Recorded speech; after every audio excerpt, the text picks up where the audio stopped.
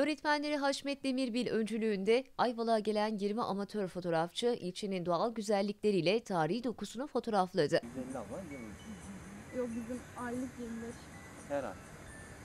Önce 30 Edremit'in Altınoluk beldesinde açılan 96 saatlik fotoğrafçılık kursuna devam eden kursiyerler ilk defa sahaya çıktı.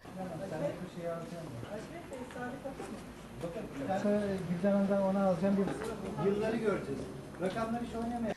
Ayvalık'a gelen amatör fotoğrafçılar bol bol fotoğraf çekerken güzel bir gün geçirdi.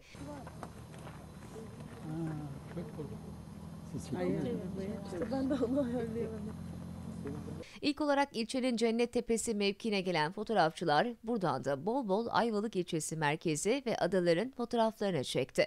İster üzerine çıkın, ister şey yapın. Daha sonra bir tane modelli çekim yani kurgu dediğimiz. Çizik istemiyorsan böyle küçültebilirim. Rakam nerede? Rakamlar şurada hemen sağ köşede. Daha sonra ilçe merkezine inen ekip bu defa tarihi yapıları fotoğrafladı. İlerliyoruz. O 1908 çektikten sonra kapıyı tam aldıktan sonra ilerliyoruz.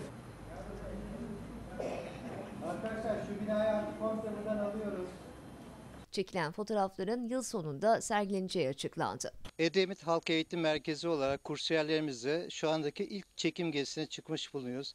Çekim gezisindeki amacımız Edremit Körfezi'ndeki Ayvalık, Cunda, e, Burhaniye gibi tamamen tarihi, eskiden kalmış olan eserlerimizi arşivleyerek belgesel olarak e, tamamen gelecek kuşaklara aktarmak için fotoğraf sanatını kullanıyoruz. Bugünkü çalışmaktaki amacımız e, sene sonundaki yapılacak olan sergi için en güzel dökümleri sunabilmek amacıyla gerçekleştiriyoruz.